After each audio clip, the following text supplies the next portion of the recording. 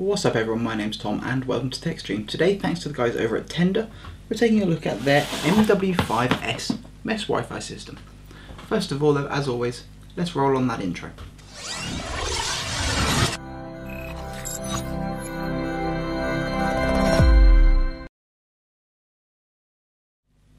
So everyone, this is the Tenda Mesh MW5 Nova system. Now we've actually taken a look at the MW6 system in the past.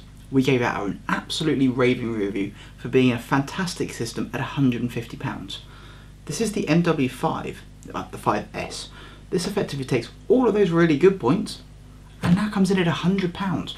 So let's get into the box and see what we've got. So the, M the standard MW5 pack comes with three of the Nova nodes and uh, we get into it, we'll show you just what you get. So you do get a quick installation guide, you get a little bit of gumph, an important bit, please start from the left node, the primary node, or in other words, the one that has a sticker on the top, plug that one in first. So you do get one, two, three little nodes. You also get a network cable for plugging your master node into your modem. You also get three little power plugs. I won't bother showing you those, but they're just three little power supplies. And these are the three nodes. So we'll take a quick look around the outside of them to start off with. They are just a little plain white box. They are a glossy top. There's a little peely sticker on them. Little LED notification light on the front on the bottom we do have some wall mounts, so you could technically wall mount those should you wish. The little QR code, which you will need later on. And then if we look at the back, we've got a pair of gigabit network ports, a reset button, and the power socket. Now, one of the things I mentioned about them taking the good bits of the MW5, uh, MW6 is the gigabit ports. Now, there is also an MW3 system, was about £100 and that had 100 megabit. These now MW5 actually have gigabit ports, which is great for anybody that has internet connections over 100 megabit or if you're doing a lot of data transfer. So these are your three nodes. Uh, what you need to do to get started is follow the instructions. Basically, all you need is a mobile phone it is that simple. And you follow the instructions. I'll just find you the English ones. There we go. And it is as simple as following the instructions. It is so simple. Anybody, you don't even have to be com computer literate. You literally need to be able to physically plug it in and use the Tenda app. The Tenda app is fantastic. You use it for starting up the network where you input your settings. Uh, another thing that they've added recently is now the bridge mode. I'll get onto that a little bit, but you basically install the app and it go guides you through exactly what you need to do. You plug the first one in, you get it all set up. You plug the second one in, you scan the QR code and it connects it to the network. Then you do the third one, you scan the QR code and it adds it all to the network. My recommendation personally is to connect these all up sort of close by and then unplug them and plug them back in where you then need them to be. Now mesh Wi-Fi systems work in a way where effectively this sort of configuration is best. So the master talks to all of them. You can, as I actually have in my house due to the size of it, have them sort of set up in one, two, three. It's not optimal, but unfortunately my house is very long and I've actually got mine sort of set up in this sort of way.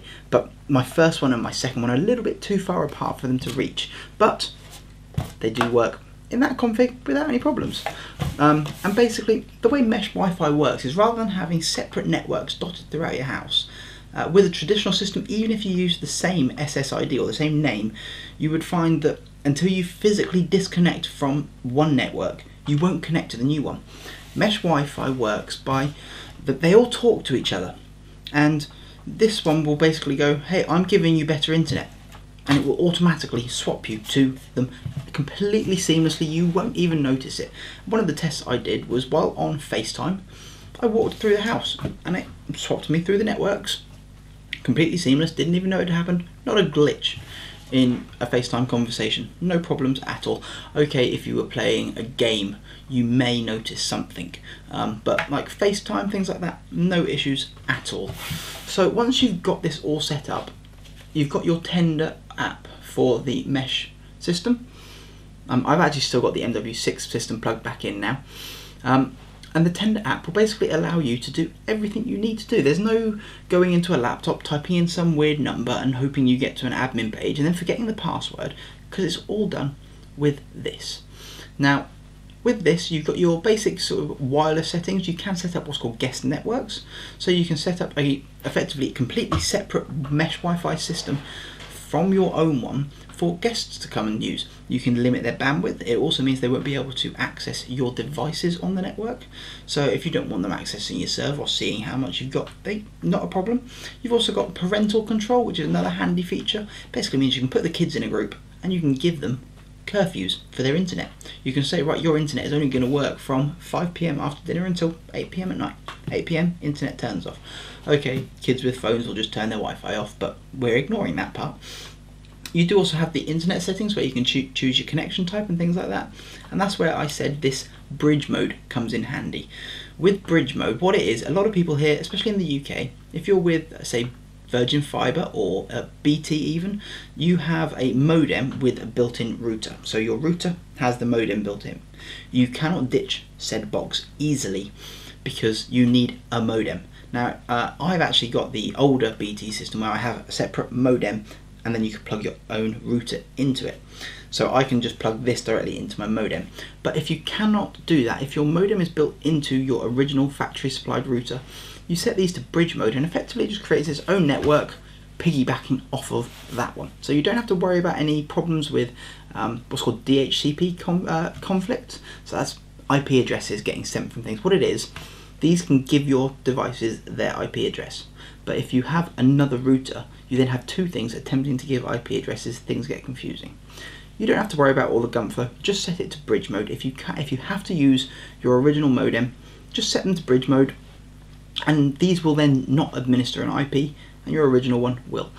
You don't need to know the ins and outs of it, just know that if you're using your factory one, just set them into, uh, into bridge mode. Once you've got it all set up though, it's nice and simple. The app is easy to use. You can even set up a schedule for the thing under do under maintenance schedule. You can set it up to automatically restart itself. So if you're one of these, if you're, I've actually had with a certain supplier in the past where I found if I didn't reset my router, say once a month or even once a week, things just got really slow. And you can actually set it to do this. Every, you can even set it to every day if you want. Set it at a time when nobody's using the internet, and it just does it all on its own. You do have a few other things. You've got uh, what's called fast roaming. This is one of the features for handing from one to the other. Basically, if you're using a relatively modern device, enable it. If you've got some old devices and you do have some issues, try turning that off. But I've, I've I haven't got anything old to test it with. You also have port forwarding. So if you need to access something outside of you, your house, say you have a Plex server and you want to be able to access that from outside of the house, you can set up port forward, forwarding and things like that. It's all available in the app and it is all really nice and easy to use. Firmware updates are there as well, and I do recommend you do them. That was how I found out about the bridge mode because um, my MW6 system didn't have it to start off with, and then did a firmware update, and there you go. Firmware update again, it's all done nice and easily, and it just you just click the button and off it goes. So, one other thing I do need to mention about these is the network ports. Now, on your master, on your primary node, your internet comes into here. This is then a gigabit uh, output port effectively, so you've got everything coming out. Now what I've set up in my house is I have my internet in, and then out of this one I then have that plugged into a 12 port gigabit switch, and then that delivers cables throughout the house. But what you can also do is on your other nodes, you can use these to plug devices in. So if you're using something that doesn't have Wi-Fi, for example, um, I've got a color laser printer here and it is a bit old and it doesn't like the Nova system for some reason. I haven't tried it with any other mesh Wi-Fi systems, but it will not connect to this mesh Wi-Fi system. The simple answer to it though was just plug a network cable in. If you're using an Xbox and you'd rather use a cable, plug it in. If you've got a smart, an older smart TV with a LAN port and no Wi-Fi, just plug it in. You can connect two devices. You can even connect another switch to this. I have tested that and it works really well. So you can connect a five port switch to one of these and if you've got amplifiers, receivers, or just computers, and you would prefer to use a networked, a wired network, which is more reliable, yeah, just plug them all in. It's not a problem. So the MW3 system, what did I actually think of it? At £100, so far, I don't think anybody can rival it. It is great value for money. It's really easy to set up. Anybody can do it. And not only do they have the MW5S, as you see, I keep calling it the MW5, but it's not. This is the 5S. What they do also have is the MW5 system, which is effectively the same gubbings, but you get one of these cubes, and then you get two wall plugs. So they are bit bigger than one of these, but it is just a wall plug. And they are effectively one of these but in a wall plug shape so you don't have to have a box and a power supply. Um, I am going to try and get hold of one of those because I prefer those that type but it all depends on sort of where you're going to be putting them. But you do have the 5 system which is exactly the same gubbins exactly the same setup exactly the same hardware just in a slightly different form factor. Same price but that one here in the UK is exclusive to Carphone Warehouse the Currys, Dixons, that group. I will put links to everything down below so you can go and click on them and have another look yourself. But overall, I think the MW5 has to get a massive, massive thumbs up. I mean, for a company to come out with something this easy to use, because normally weird unknown brands, I'm not saying Tenda an unknown brand, they're getting quite big in the industry, but some of the off brands, shall we say, i.e., it's not Asus, it's not Cisco, it's not Linksys, things like that. Their apps and things for setting things up have in the past been horrendous. The Nova system from Tenda, though, just completely changes my views on that. It is so simple and easy to use. Anybody could set this up. I mean, your five-year-old kid could probably set this up. There we go. I've said it. It is that simple. So yeah, I'm going to give it a massive thumbs up. I've had almost no faults. The only faults I've ever had with it was I did have a couple of IP config com conflictions, but that was entirely my own fault. That was because I had a couple of devices manually set to static IPs. So yeah, I had no issues. It was easy to set up and everything just works. So there we go. That is the Tenda MW5 mesh Wi-Fi system. It is a full mesh Wi-Fi system offering every single band, 2.4 and 5 gig, up to 1200 megabit. The speeds on it are fantastic. I forgot to cover that. The speeds on it are fantastic. I tested across the entire length of my quite large house with no problems at all, went right the way down the garden with no issues.